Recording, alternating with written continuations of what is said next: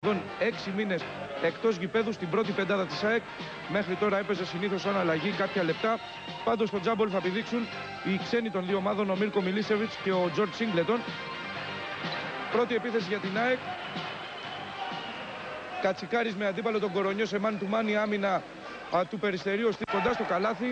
Οι πρώτοι δύο πόντι του αγώνα από τον Μίρκο Μιλίσεβιτς που καφιέται ότι είναι ο καλύτερος έντερ. Ξεκινάει καλά 0-4 μετά από ένα λεπτό αγώνα. Στο χιβολί του Μπέργολντ. Μιλίσεβιτς από την κορυφή της ρακέτας 3-6 με τον Σέρβο να ξεκινάει φουριόζος την ομάδα του πολύ περισσότερο από κάποιους άλλους. Νούσης 5-8. 4 πόντι και για τον νεαρό. Από τους δύο που πέτυχε στο Γεώργιος Μόσχος.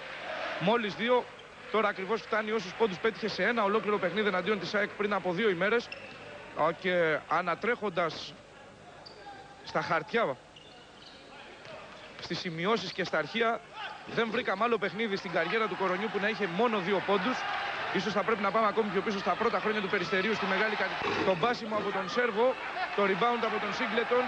Κορονιός ε, σε ρόλο playmaker πιθανώς για να τραβήξει μακριά από το καλάθι τον Blackman. Θα δούμε αργότερα ακριβώς ποια είναι τα πλάνα του Στίβ Γιατζόγλου. Ο Σίγκλετον Σιδής. Δικαίωμα για δύο βολές στον Ρολάντο Μπλάκμαν από το πρώτο φάουλ που έκανε ο προσωπικός του αντίπαλος ο Γιάννης Μιλωνάς που θα εύχεται να τελειώσει μια ώρα πιο γρήγορα αυτή η περίοδος. Είναι μία από τις χειρότερες στην καριέρα του στο Περιστέρι και στην μεγάλη εθνική κατηγορία στην Α1.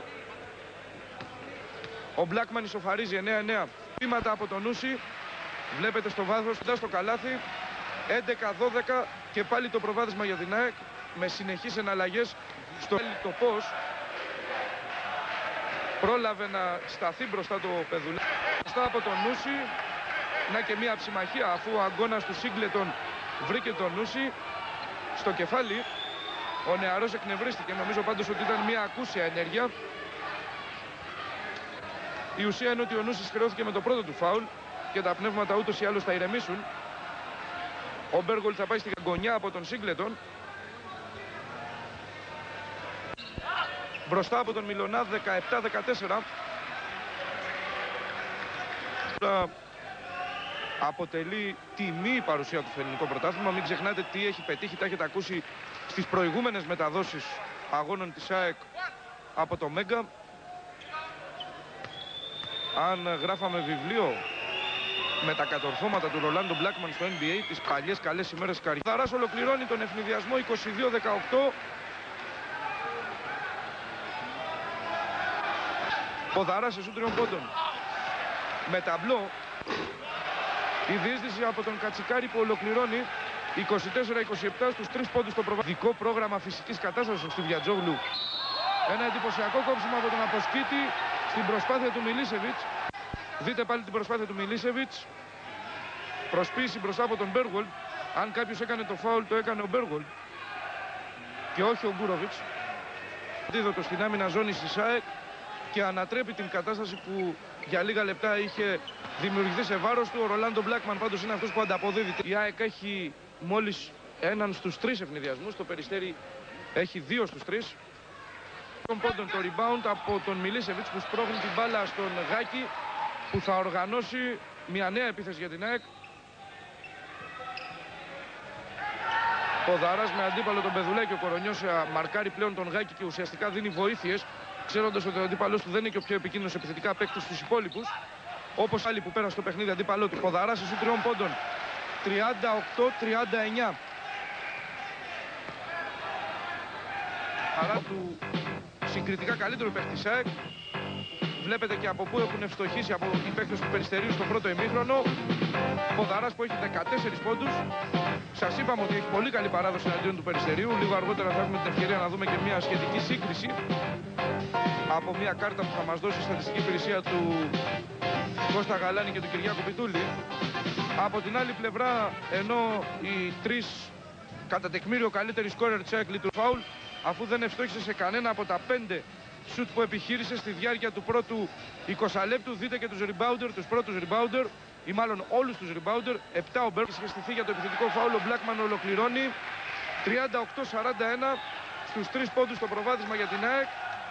Για την ΑΕΚ τον έκοψαν και ο Πεδουλάκης και ο Σίγκλετον. Ο Γάκης όμως μάζεψε το επιθετικό rebound και η ΑΕΚ έχει δικαίωμα για μια ολόκληρη επίθεση. Πάντως ο Δαράς την εκδηλώνει πολύ πιο γρήγορα. Το rebound από τον Μιλωνά μετά από το άστοχο σουτ τριών πόντων του Ποδαρά. Αλλά ο Σταύρος Τσανίδης είδε μια κίνηση του Μπέργολ και από τα 5 μέτρα και από εκεί είναι εύστοχος ο Σέρβος.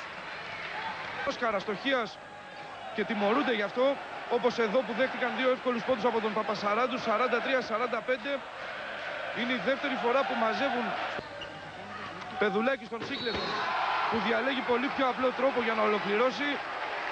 Το κάρφωμα είναι σίγουρος δρόμος.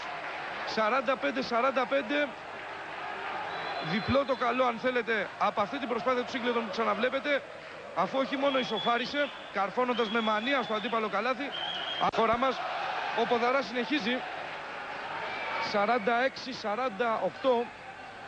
με τον Δημήτρη Ποδαρά να έχει φτάσει στους 17 πόντους. Ο Πεδουλάκης τρέχει να πιέσει και τον Blackman για να μην κατεβάσει γρήγορα την μπάλα. Πάντως ο Αμερικανός παρά το ύψος του είναι καλός χειριστής της μπάλας και κερδίζει το φάουλ από τον Αργύρη Πεδουλάκη. Τρέξε και σταμάτησε την προσπάθεια του αντιπαναντίον δύο φάσουρας. Μπερδεύεται, τον σταματάει ο Παπασαράντου που θα ολοκληρώσει. Προτιμάει τον σίγουρο δρόμο της assist, αλλά δεν ήταν και πολύ. Αστόχησε το Περιστέρι, κάνει και αυτό με τη σειρά του τα δικά του λάθη. Ο Σίγκλετον σταματάει τον Παπασαράντου με εντυπωσιακό τρόπο. Καμία από τις τρεις ε, τελευταίες επιθέσεις των δύο ομάδων δεν κατέληξε σε καλάθι.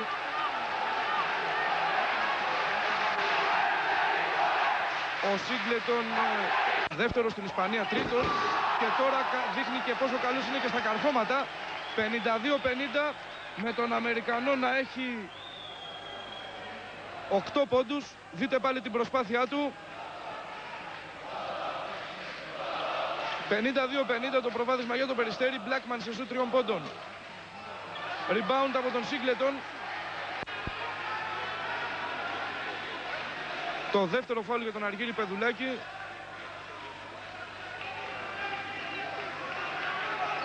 που όλο και κάτι βρίσκει να λέει είτε στους διαιτητές είτε στους αντιπάλους του. 54-50 11 λεπτά πριν από το τέλος του δεύτερου μέρους. Νούσης.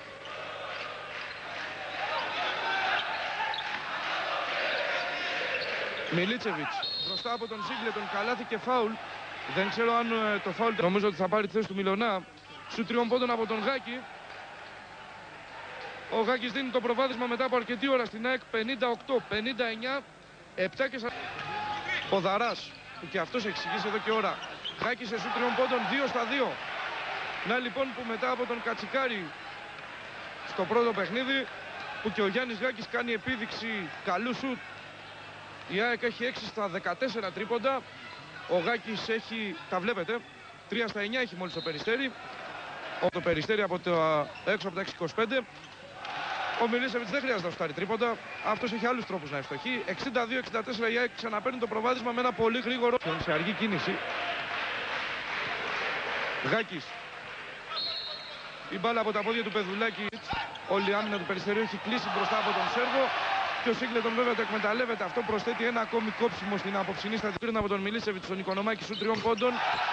Ο Οικονομάκης είναι καλός του Και σίγουρα η άμυνα του Περιστερίου το κατάλαβε. 65-69. 3 Τέσσερα λεπτά πριν από την... Το φάουλ από τον Μιλίτσεβιτς. Αυτό είναι το πέμπτο για τον Σέρβο. Πάμε για πολύ λίγο στην Παιανία και ξανά μαζί στο Περιστέρι για το τέλος του αγώνα. Σταματήσει τον Γιάννη Γάκη. Δείτε πάλι τη διείσδυση του playmaker της το κόψιμο του Σίγκλετον. Όμως ε, ο Γιώργος Κοσμάς κάτι έχει να μας πει από τον αγωνιστικό χώρο. Γιώργος, ακούμε. Είναι αλήθεια, Δημήτρη, ότι ο Κορονιός, ε, ο Άγγελος, είναι πάρα πολύ εκνευρισμένος. Μάλιστα, το προηγούμενο time out πέταξε ένα μπουκάλι νερό με δύναμη στο πάτωμα. Ο Στίβια Τζόμπλ έκανε προσπάθεια να τον ηρεμήσει. Γιατί στα δύο παιχνίδια με την ΑΕΚ δεν έχει πιάσει τη γνωστή του απόδοση, δεν έχει βρει τον καλό του εαυτό και του φταίνε όλα. Λένε ότι μια εικόνα αξίζει χίλιες λέξεις. Είδατε τον Μιλίτσεβιτς που διαμαρτυρόταν με έναν πολύ χαρακτηριστικό τρόπο. Τώρα αν αυτό το πλάνο το βλέπατε όχι σε μετάδοση μπάσκετ αλλά σε κάτι άλλο δεν θα τον περνάγατε για μπασκετμπολίστα τέλος πάντων.